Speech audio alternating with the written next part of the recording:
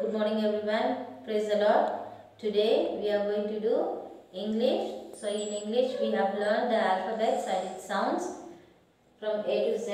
Now we are going to do the recap of alphabets and also the like the number with letter which comes after missing missing missing letters then backward numbers after uh, sorry after letters backward letters forward Mm, then before letters so we are going to do the recap of all the alphabets also all the missing letters. Now a sounds a. B sounds b. C sounds k. D sounds d. E sounds a. F sounds g sounds g.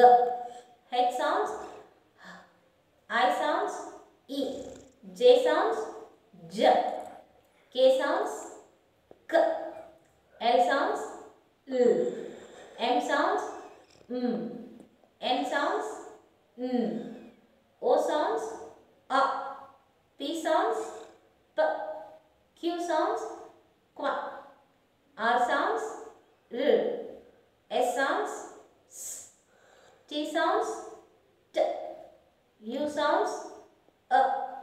V sounds V, V. W sounds W. X sounds X. Y sounds Y. Z sounds Z. So the sounds are important for the letters.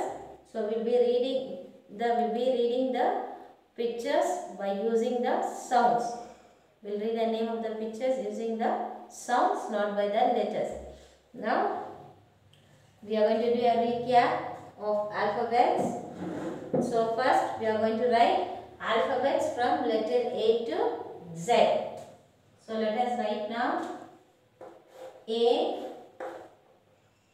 B, C, D, E, F, G H I J K L M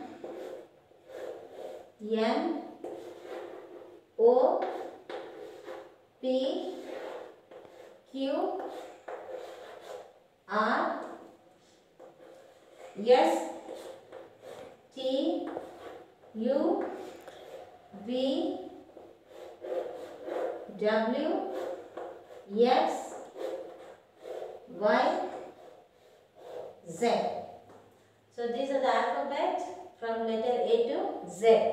Now in this we are going to like learn the missing letters. Now first here is A. So after A B A dash C dash dash dash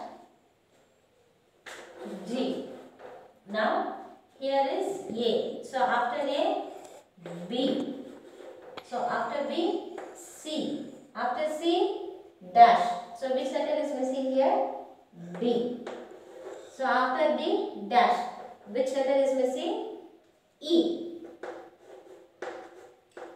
After E dash. After E which letter is missing?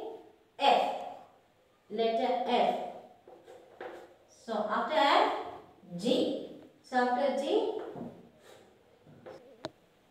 now, so here G. After G you have a dash.